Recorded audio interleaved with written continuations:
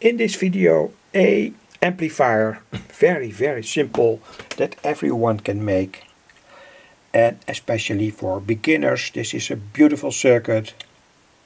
It always works etc etc. That's why I publish it.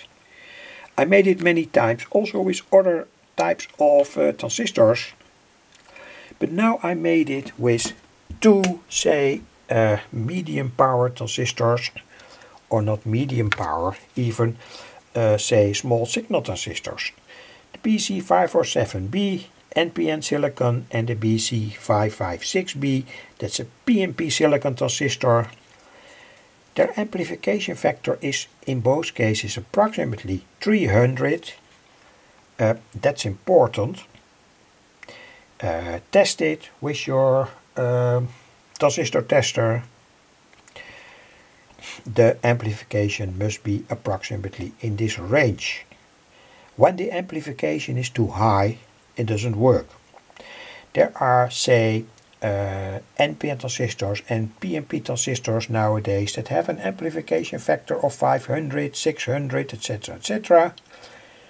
And I didn't test it, but uh, I'm almost sure that it will not work in this circuit anyway. The circuit is completely classical.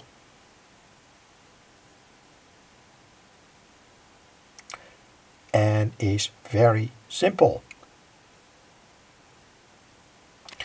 We have here the NPN transistor, here the PNP transistor. There are two resistors here of 27 ohms. You can see them here.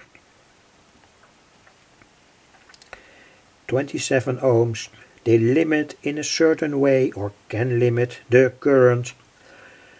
Uh, has everything to do with the voltage supply but anyway I don't want to pay much attention to that.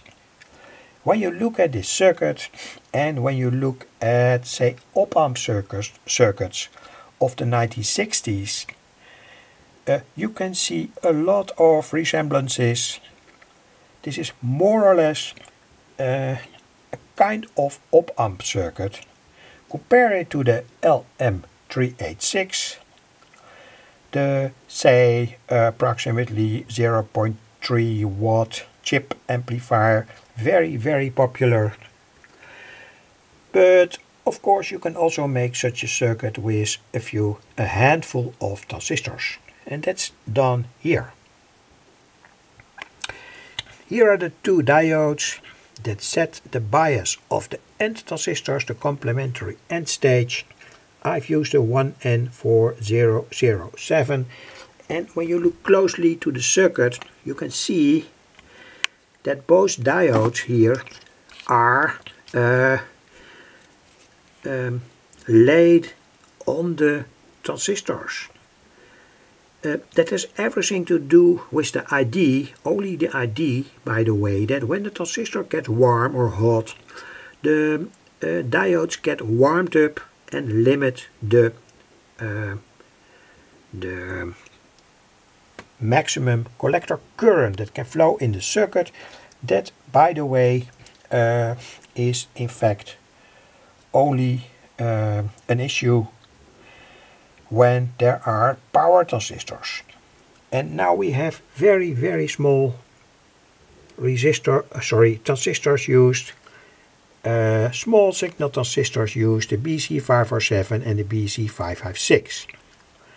So I think it doesn't make sense to glue, for instance, this diode to the housing of the NPN transistor and this diode to the housing of the PNP transistor, but anyway. When you want to do more experiments, try better circuits, etc, etc, go to higher voltages, that's not advised by the way. The circuit is only made for maximum 12 volts. And the best uh, supply voltage is approximately 6 volts or 8 volts. But anyway, want to demonstrate now the sound uh, there's a 10k potentiometer here that has a impedance that's low enough to make this circuit suitable uh, to be supplied by, for instance, this MP3 player or whatever MP, uh, MP3 player, a smartphone output, etc. etc. And we have here uh, separation capacitors and that means that the circuit is also safe to be used with a smartphone output. Put in the card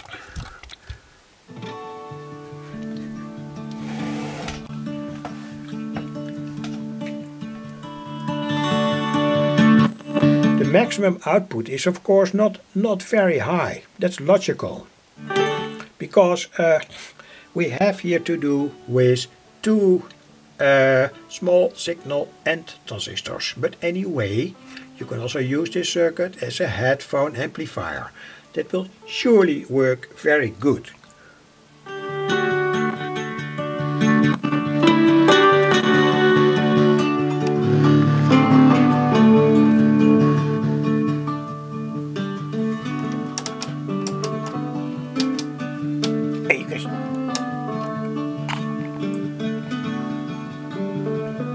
And you can surely see that the waveform and the distortion level is low.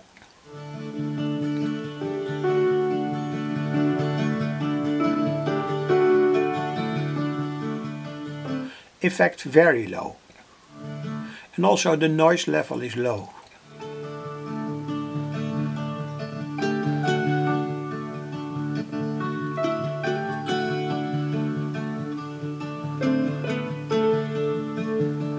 And when you want to say uh, get to uh, a certain measurement of the circuit, it could be that when you send in here a sine wave and you look with the scope at the output, the sine wave, it could be that the positive part of the sine wave is much somewhat more am, uh, amplified compared to the negative part of the sine wave.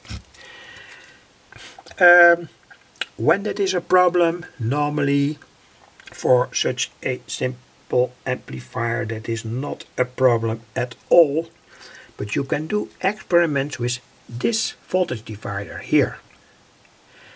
So in such a case, uh, you can change, for instance, this 1 mega ohm resistor, uh, make it somewhat smaller or somewhat bigger, or this 1 mega ohm resistor, make it somewhat smaller or somewhat bigger, to get, uh, when you do want to do measurements, the purest waveform out.